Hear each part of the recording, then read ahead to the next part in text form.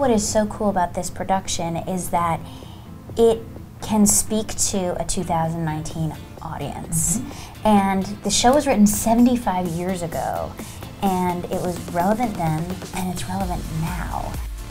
For these three strong actresses, the staging by visionary director Daniel Fish is shining a light on the darker shades of the classic 1943 musical, which tells the story of pioneers settling out west. There's a lot of misogyny in this script, and the women, particularly in this production, I think come off stronger than the men. And I don't mean that acting wise, I mean that the women make their decisions and the women choose what they want. They're not forced into anything. So I think that it's really the light shines. One of the things in this production shines a light on that. And I feel like really lucky to be doing this show at this time mm -hmm. in history where people are listening to the women.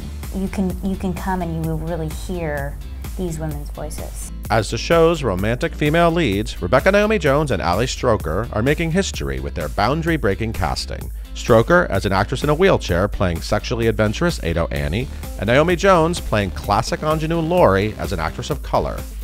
There's a version of me being cast as Laurey in which I sort of have to like pretend I am that ingenue we're all picturing, you know, pretend I'm like Shirley Jones or something. You know, it's like, that's the version that I would have grown up in, with in my head is like, one day I'll play that character. And in my brain, I'm sort of playing like a blonde white woman, you know?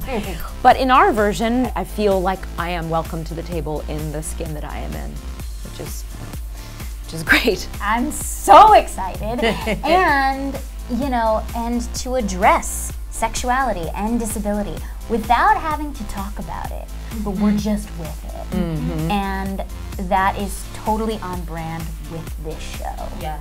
When I go to the theater, I want to be moved, I want to sit forward, I don't want to be entertained. I want to be challenged and moved, and I think this is what Oklahoma's going to do for people.